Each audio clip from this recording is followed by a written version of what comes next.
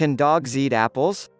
Apple slices make a delicious, healthy snack for your dog and can help keep your dog's teeth clean and their breath fresh. However, the core of the apple and the apple seeds especially can be harmful to dogs. Apple seeds contain a small amount of cyanide which is released when they're broken or chewed.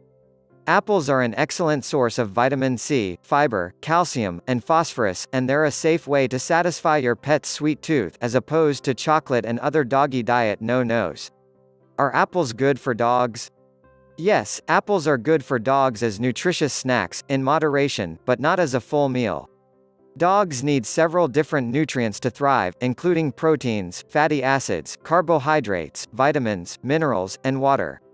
Apples provide an excellent source of vitamin C and carbohydrates, and are high in fiber.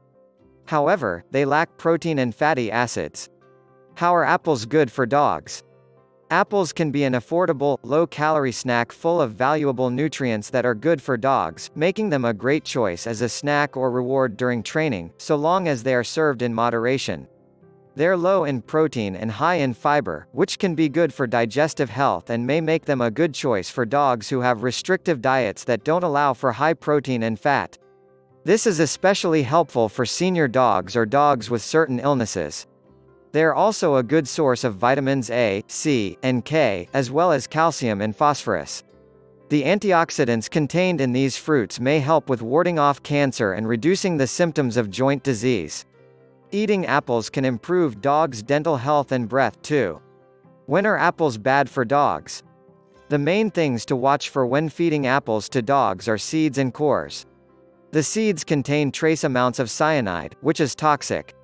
It would take quite a few seeds to cause any kind of cyanide poisoning, and if your dog swallows a few, it isn't likely to cause harm.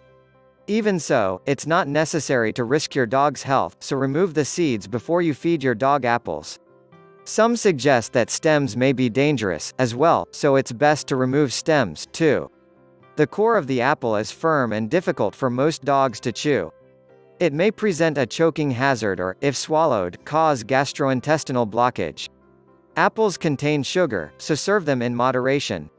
The sugar content can cause problems for dogs who suffer from cancer or diabetes, which is another reason you should ask your vet before giving them to your dog.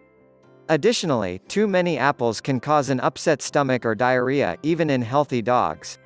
Apple-flavored products or products that contain apples often have sugar, artificial flavors, or chemicals in them. Always read the labels before you feed your dog any human foods and avoid added sugars, artificial sweeteners such as xylitol, or ingredients you're unfamiliar with, as these can be toxic. It's best to choose organic apples, as many apples you find in the supermarket are coated with substances that make them shinier. Wash any fruits you buy because they can contain herbicides or pesticides. Like most foods, there's some risk that your dog may be allergic. Rarely, allergic reactions can lead to anaphylaxis, a potentially life-threatening condition. If you see signs of an allergic reaction in your dog, including coughing, sneezing, swelling, hives, difficulty breathing, or other symptoms, stop serving your dog these fruits and contact your veterinarian immediately. Can dogs eat applesauce? Dogs can eat some kinds of applesauce. But it may be difficult to find one that's good for them. Most have added sugars, so I don't recommend applesauce. Even homemade generally has added sugar, which isn't good for dogs, Dempsey explains.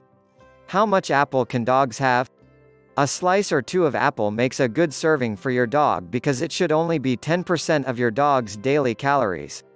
But if your dog loves apples, try a complete and balanced meal like Beneful Healthy Weight accented with apples.